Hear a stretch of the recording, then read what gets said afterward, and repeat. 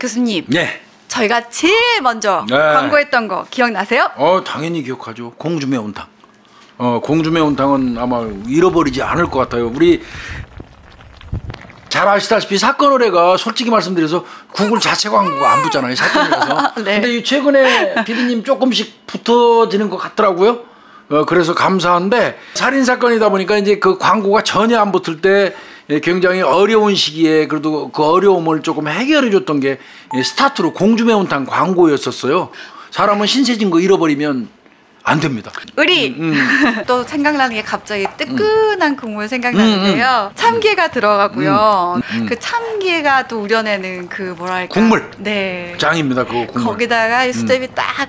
어, 40년 전통의 할머니 손맛을 그대로 이어왔고요. 음. 제일 중요한 거 맛있고 비린내. 맞아요. 네, 나지 않습니다. 그리고요, 딱 그 입에 국물 떠서 드시는 순간, 오, 이게 무슨 맛이야, 이거? 와, 이런 소리 아마 들릴 겁니다. 제가 이건 자신할 수 있어요. 예. 어, 소 사이즈 2인분에 24,500원, 대 사이즈 4인분입니다. 음. 41,500원입니다. 010 4910 8200입니다. 그 매운탕은 한번 꼭 어, 드셔보시라고 권하고 싶습니다. 네, 얼른 가서 먹고 싶다.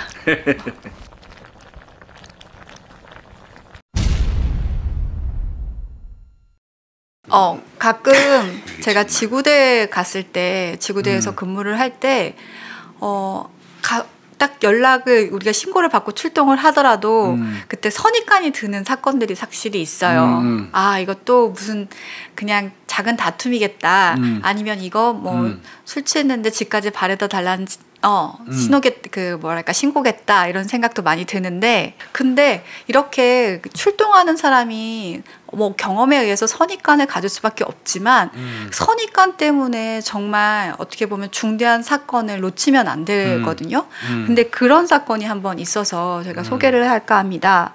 어떤 분이 술을 좀 많이 취하셨나 봐요. 음. 근데 그 술을 좀 취하시고 아마 우독 같은 것들을 차 안에다가 뒀는데 거기다 차키를 두고 내리신 거죠. 그러니까 차- 술이 취한 상, 만취한 상태에서 네. 차 키가 들어있는 본인의 겉옷을 차 안에 놔두고 내렸다 이거죠? 네. 그러니까 차 문을 못 잠그고 그냥 내린 거예요. 음, 음, 음, 음. 근데 보니까 조금 있다 와서 보는데 차가 없어졌어요. 그러니까 훔쳐간 거예요, 훔쳐. 네. 그래서 훔쳐간 일, 거. 음. 112에다가 신고를 한 거예요. 음. 내 차를 도난당했다. 음. 아, 당연히 신고하죠, 그럼. 네. 음. 근데 지구대 이제 그 분이 오셔서 아 이거 좀 술이 취해서 다른 데다가 주차해 놓으시고 지금 착각하신 걸 수도 있다. 음. 잘 찾아봐라. 아니면 혹은 음. 뭐 이제 다른 친구분이 아마 차를 몰고 갔는데 술에 취해서 착각하신 걸 수도 있다라는 식으로 아마 그걸 어떻게 알아, 경찰관이? 아니, 그래, 예전에 네. 예전에 보면은 사실 이제 그 지구대 파수소 이해 안 가는 건 아니에요. 음. 지구대 파수소 제가 저도 파수소장 잠깐씩 했다고 그랬잖아요. 네. 파수소장 할 때 보면 술 잔뜩 취가지고 파수소 오는 사람이 있어요.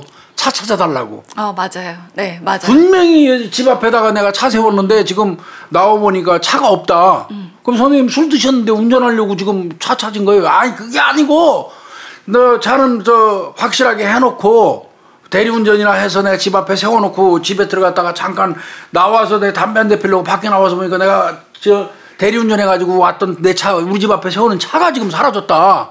이렇게 신고하시는 분들이 있어요. 맞아요. 그럼 이제 경찰관들 헐레벌떡 나가가지고 막 찾으러 다니고 하다 보면 지네 직장에 그 그 그 차 있어요. 맞아요. 그런 경우 많거든요. 네. 그그 사람이 술 취해갖고 딴 데서 회식하고 착각하는 거예요. 자기 집에 갖고 온 거로. 그리고 뭐, 지갑 잃어버렸다고 하셨는데 그- 어 지갑도 진짜 집에 있는 경우도 있었고. 아 그러니까 어. 이제 이거는 많아요. 생각보다. 맞아요. 네. 예, 술 잔뜩 취한 사람이 집 앞에 분명히 대리운전해가지고 집 앞에까지 왔는데 차가 없어졌다고 신고하는 경우 있는데 경찰관들이 나중에 보면 열이면 일곱 여덟이 만취하신 분들은 대체로 차 딴 데 세워놓고 그러더라고요. 음. 그래도 경찰관은 나가서 찾아야 돼요. 네. 그렇잖아요. 어, 100건 중에 한 건이라도 그, 저, 도난일 수 있잖아요. 그럼 경찰관은 현장 나가서 찾는 게 지극히 당연한 건데, 제가 보니까 이 경찰관 20년 경찰치가 했다고 얘기하면서 당신 분명히 딴 데 세워놨을 거라고 이렇게 얘기하고 성의 없이 대했다는 얘기예요. 지금 얘기 들어보니까. 네, 아마 차주는 계속 내 차 가져간 거 네. 맞다, 도난당한 음. 거 맞다. 음. 그리고 20분 정도 실갱이를 벌였대요. 근데 이 시, 참. 근데 경찰이 이건 그 피해 사실을 본인이 증명해야 됩니다. 말이 되는 소리를 해야지 이게. 그래서 이게, 계속 아마 응? 그렇게 얘기를 하다 보니까 항의를 해서 알았습니다. 근데 신고는 받아들일 받아줄게요라고 해서 신고는 접수가 된 상황이었는데 음. 이게 닷새가 지나도록 수사에 진전이 없었대요. 아니 신고를 받아주고 안 받아주는 게 지 권한입니까? 경찰관은 신고를 받아주고 안 받아줄 권한이 있는 게 아니에요. 신고하면 받도록 돼 있는 게 그 그 본인의 의무이고 권한이에요. 그리고 20년 동안 내가 경찰을 했는데 이런 경우는 절대 다수가 딴 데다 놓고 술 취갖고 잊어버린 거라고 얘기하면서 그대로 그냥 밀고 갔다는 얘기인데 네. 막 아까 서두에 제가 말씀드렸잖아 그런 사람 많아요 음. 많아도 100건 1000건에 하나라도 절도사건이면 절도사건일 수 있어요 그건 경찰관이 거부할 수 있는 게 아니에요 나가서 현장에서 찾는 게 맞습니다. 20년 했으면 내가 볼 때 경위 정도는 달았을 것 같아. 에? 저, 저, 그 자동 승급으로 올라갔어도 그죠? 네. 그리고 이 차주분의 얘기가 진짜였어요. 이렇게 보다 보니까 아마 CCTV 상에 잡힌 것 같은데 음. 남성 한 명이 걸어오면서 그 음. 차량에 착 바짝 붙은 거예요. 그래서 아, 그럼 CCTV라도 확인하든지. 네. 그래서 문을 열어봤는데 문이 딱 열리니까 바로 곧장 운전석에 타가지고 그 차를 음. 자기가 몰고 간 거였는데 그게 잡혀요. 그러니까 이게 진짜 차주분 말씀이 맞는 거였는데 이거 확인을 안 해본 상태에서 당신이 잘못 알고 음. 어, 신고를 한 거다라고 경찰은 그렇게 대응을 한 거죠. 이 경찰관은 정말 내가 정말 제발 이런 것 좀 하지 말라고. 음. 제발 좀 이러지 말라고. 제발 좀 어, 성의껏하고 내가 조금 전에 말씀드렸지만 신고는 접수를 지 맘대로 하고 하라고 하는 권한이 없어요 경찰은. 신고가 들어오면 받아야 되는 거예요. 어, 허위 신고면 처벌하면 되는 거고요. 네. 고의성을 가진 허위 신고면 공무집행방해로 처벌하면 되는 거고 신고 받아야지 맞는데 20년 이상 했는데 나 20년 정도 경찰 했는데 이런 경우 거의가 술 취해갖고 딴 데 놓고 와서 신고하는 거다. 그렇게 선입견 가지고 그 단정 지으면 안 되는 거죠. 결국은 지가 잘못한 거 아니에요. 네. 실제로 훔쳐간 거 아니에요. 음. 이 차 찾았어요, 못 찾았어요? 어, 그래서 수사를 못 찾다가 어느 네. 날그 도난된 곳에서 한 1km 떨어진 주택가에서 무단 방치된 차가 있다. 오랫동안 그 빼달라. 라고 해서 한 시민이 전화를 했대요. 그럼 그, 차는 찾은 거네요? 네, 차는 찾았는데 범인은 못 잡았어요. 빨리 잡아야지. 잘못했으니까 이제 저 저 이 차 훔쳐간 놈이라도 반드시 저 그저 뭐 근무하면서 집에 들어가지 말고 이것만 찾으러 댕겨야 돼요. 지가 잘못했으니까. 근데 이 어? 범인이 아마 훔친 뒤에 고속도로 이용해 가지고요 세종도 음. 가고 공주도 가고 해 가지고 인근 도시 한 100여 킬로미터 정도 네. 돌고 자기는 뭐 그냥 진짜 드라이브 한 거죠. 그러고 나서 그냥 거기다 아무 데나 방치를 해 놓은 거죠. 아, 이거 뭐 세종이니 뭐 공주니 이런 쪽으로 돌았다면 어, 연장해서 가면서 CCTV 찾아가고 인상착의 따고 이렇게 해가지고 그 결국은 검거는 할 수 있을 것 같으네요. 네. 그죠? 네. 근데 이건 경찰이 이런 신고로 음. 어, 신고 접수하는 태도 이거 옳지 않습니다. 어 근데 다른 음. 신문 기사에 보니까 이 남성 다른 차량에도 들어간 사실이 확인됐대요. 그러면 전문적으로 그런 놈이네 이거. 네, 이게 추가 범죄 그래서 확인 어. 필요 있다라고 얘기를 하고요. 또 음. 어, 만약 만약은 아니죠. 이거 신고 접수가 돼야 되는데 혹시라도 대안으로는 뭐 구청에다가 차량 운행 정지 명령 같은 거 신청할 아. 수 있는 방안이 있다고 하더라고요. 아니 근데 차남바 뭐 그 저 몰래 빼가지고 할 수도 있고 그러기 음, 때문에 맞아요. 예, 뭐 그 이런 경우는 제가 볼 때는 경찰관 이런 식의 근무 태도 옳지 않습니다. 음. 예, 제가 늘 말씀드리지만 경찰의 이 불친절 그 다음에 귀차니즘에 빠져가지고 성의 없는 근무, 태도, 이거는 부조리보다 더 나빠요.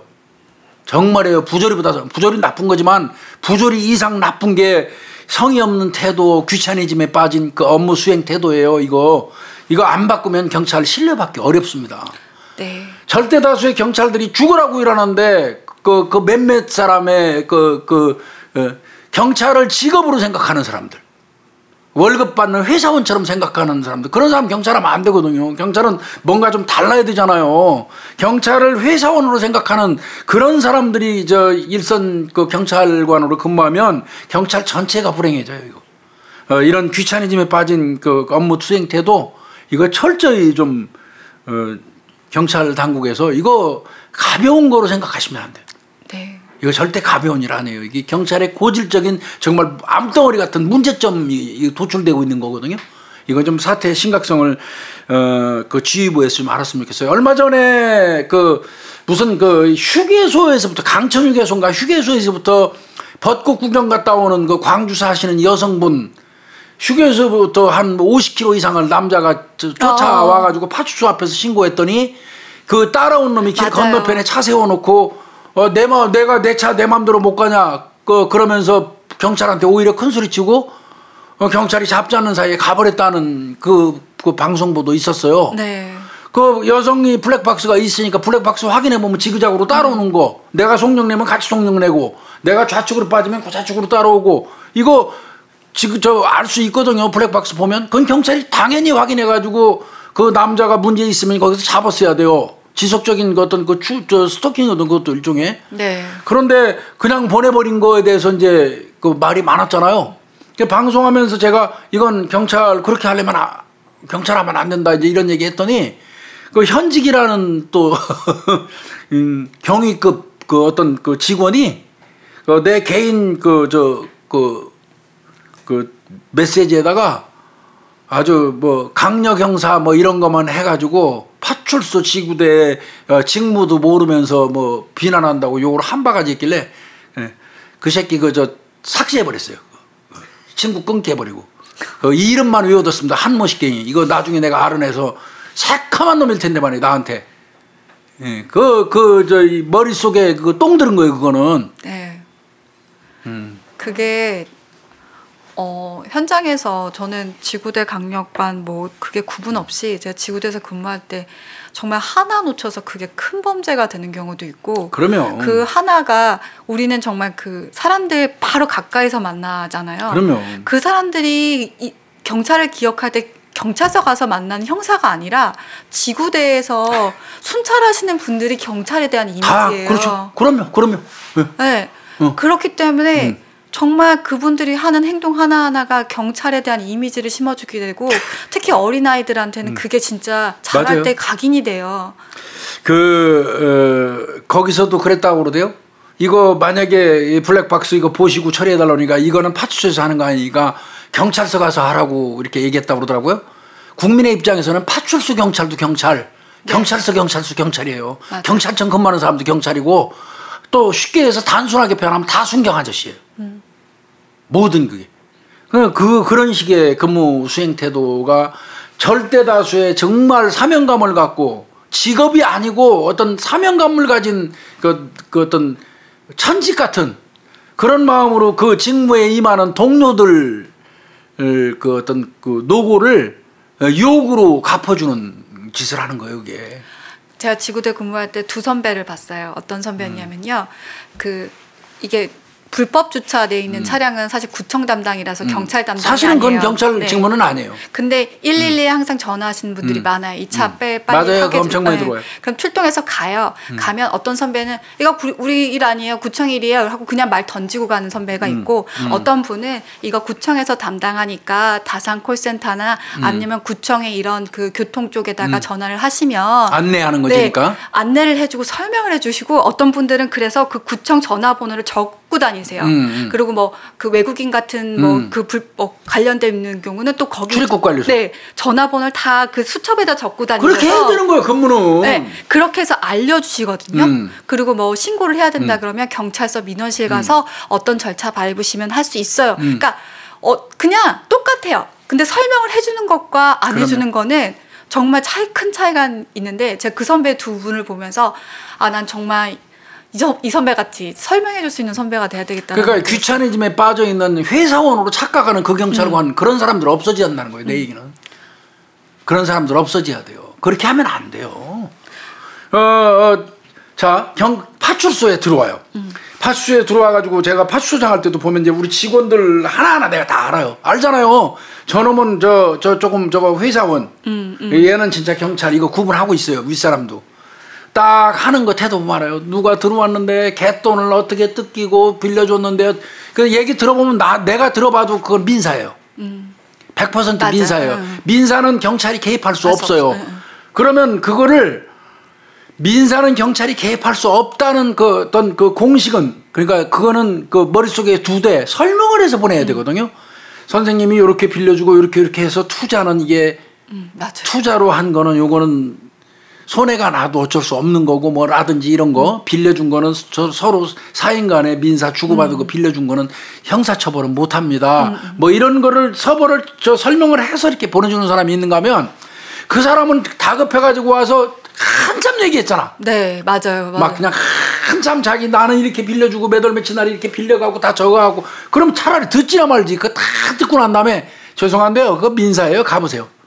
이러면 그 신고한 사람 얼마나 맥 빠지냐고. 그래 내가 막 혼내고 이제 이리 오시라고 그래. 앉혀놓고 조목조목 A4 용지 하나면 돼요. A4 용지 하나에다가 볼펜 들고 적으면서 이렇게 해서 이렇게 민사인데 이런 경우는 어, 법원에다가 그 소액이면은 저 소액 심판 청구 이렇게 하면은 그 법무사 가서 몇 번 들지도 않습니다. 뭐 여기 몇 가지만 알려줘도 그분들 합쪽에서 가는 거거든요. 맞아요. 근데 그렇게 안 하더라고. 어? 싹둑 잘라갖고 우리는 형사만 하는 경찰이기 때문에 민사는 안 되니까 가세요 하는 식으로 그거 그렇게 하면 안 돼요. 예, 좀 성의 있는 근무. 나는 성의 있는 근무까지도 바라지도 않아요. 귀차니즘에 빠져가지고 하는 근무 그 이렇게 이 사람처럼 내가 20년 경찰 했는데 당신처럼 술채 갖고 온 사람들이 대다수가 차 어디다 세워놓고 지금 지가 어디 세워놨는지 까먹은 거야. 이런 식으로 지가 뭔데 그렇게 선입 지가 신냐? 어, 그런 식으로 아, 신고 안 받아줘가지고 20분 실갱이 하는 그리고 선심 쓰는 것처럼 접수해주는 이런 경찰관들은 절대 다수의 동료들한테 정말 엄청난 데미지를 입히는 거예요. 어, 그런 식의 태도 갖고 하려면 경찰 하지 말고 나가줬으면 좋겠어요. 정말, 응? 진짜 전직으로서 말씀드리고 싶어요. 나갔으면 좋겠어요. 이, 이 경우도 여하간 뭐, 요놈 빨리 잡아가지고, 지가 잡아야 돼, 내가 볼 때는. 어? 비번 날 맨날 돌아다니면서 저 CCTV 확인하고 지가 잡아야 할 것 같아. 이건 뭐 어차피 형사들도 형사들이 이것도 잡으러 댕기겠네. 음. 어. 이런 이런 근무 태도 없어야 되고 하여튼 뭐 전직이지만 정말 그 이 피해자분한테 죄송한 마음이 드네요. 네. 어? 에이 이런 거는 그래도 할 얘기는 좀 해야 되겠죠, 그렇죠? 네. 음. 뭐 좋은 얘기만 하면은 안 되잖아요. 음. 교수님 우리 네. 좋은 얘기 그럼 하나 할까요? 좋은 얘기 하나 해봐요. 뭐 좋은 네. 얘기 있으면. 어 어느 분이 글을 커뮤니티에 올렸는데. 아 예. 예. 네. 음. 어 이제 우리가 그때 크리스마스 이틀 음. 앞둔 12월 23일 날 있었던 작년이네요. 네. 음. 여기선 딸기 씨라고 하는데 음. 네. 딸기 씨가 음. 이제 택시를 타고 가려고 택시를 다 봤대요. 음. 근데 분명 그 택시에 우리가 빈 차라고 표시돼 있으면 지붕에, 잡잖아요. 지붕에 빈 차 딱돼 네. 있잖아. 앞에도 돼 네. 있고. 그러면 이제 그래서 빈 차라고 해서 딱 잡았는데 어 탈라 그랬더니 네, 누가 타고 있더래요. 어. 어. 그래서 미안해서 어머 이미 타고 계시네요. 죄송해요. 저 빈찬 줄 알았어요. 음. 아 그랬더니 그 택시 기사님이 멋쩍은 표정으로 음. 아제 아내예요. 그러면서 음. 그 그냥 타셔도 돼요라고 해서 탔대요. 음, 네, 음. 그딱그 그, 그 뒷좌석에 탔더니 그 뒷좌석에 그, 그 뭐라 하지 그 등받이 쪽에 메모가 하나 딱 있었대요. 아 이렇게 돼 있네. 앞자리 그러니까 조수석이죠. 음. 앞자리에 앉은 사람은 알츠하이머 괄호 열고 치매를 앓고 있는 제 아내입니다.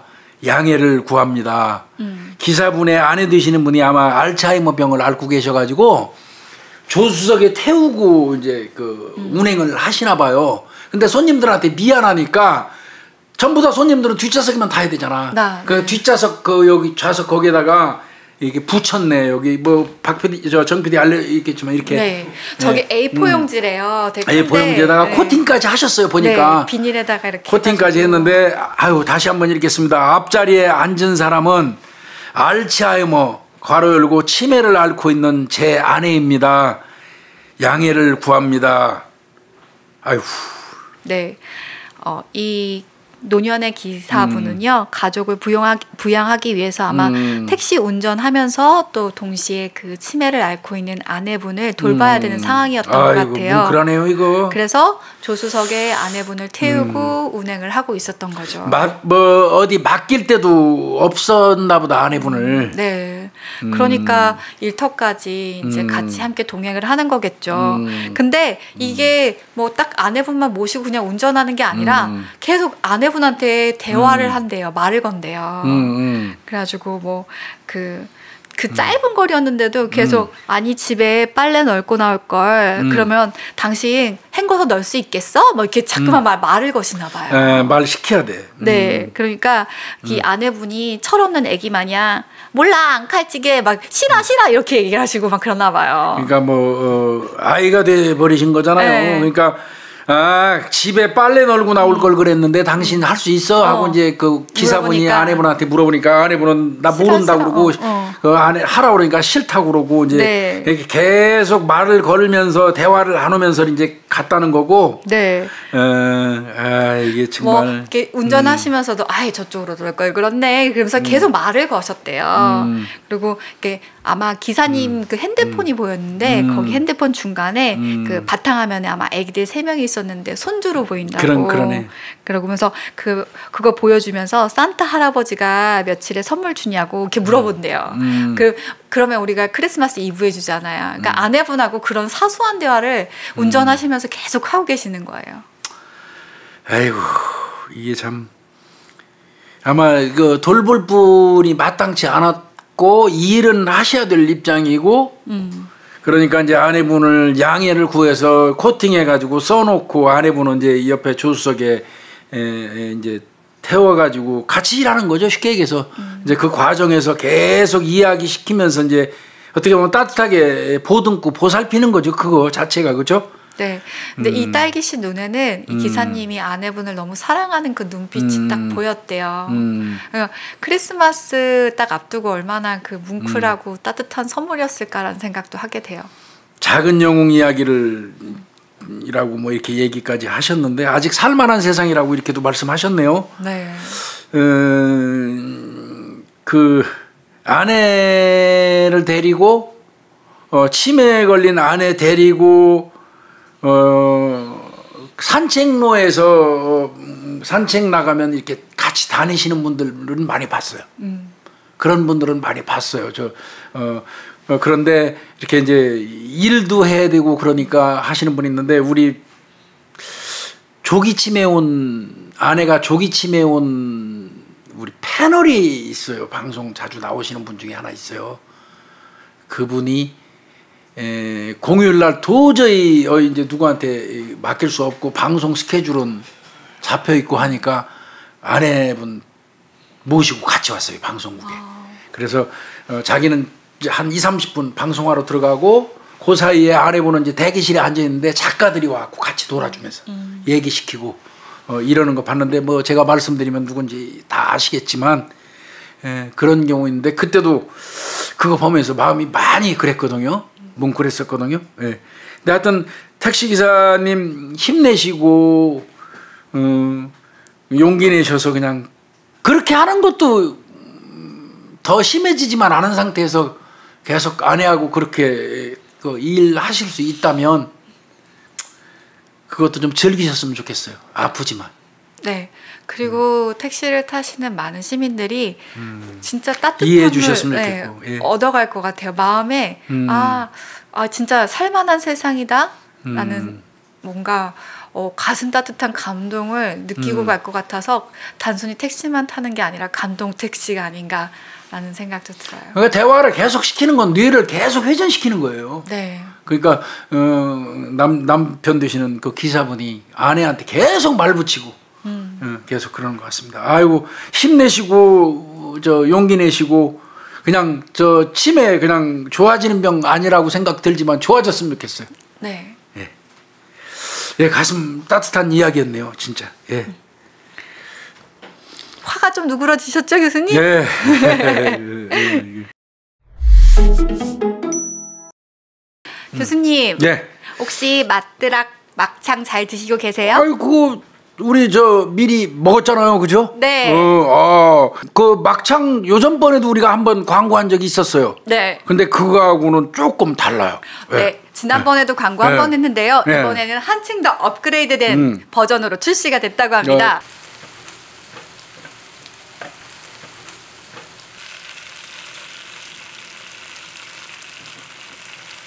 딱 받아보면 아실 거예요. 포장지부터 달라요.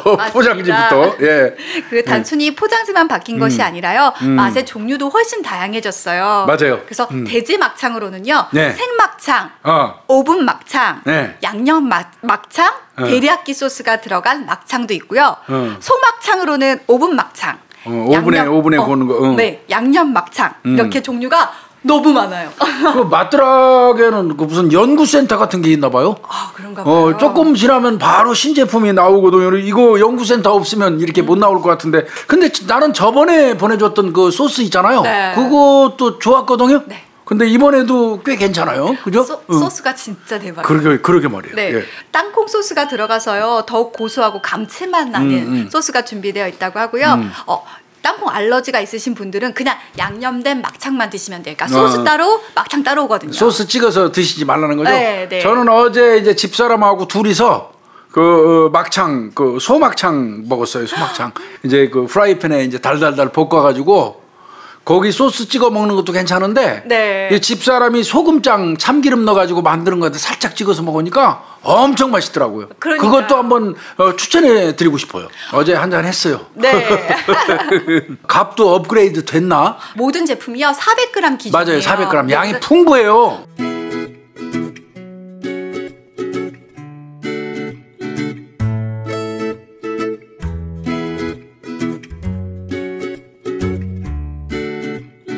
이거 막창 진짜 매니아들 있거든요. 네. 어, 막창 좋아하시는 분들은 뭐 아마 이거 어, 상당히 기쁜 소식일 수도 있어요. 어, 한번 사서 드셔보시고 이거 당연히 할인 서비스 있겠죠, 그죠? 아, 그럼요. 네, 맛드라기 뭐 사장님이 어떤 분인데, 그죠? 그쵸. 네.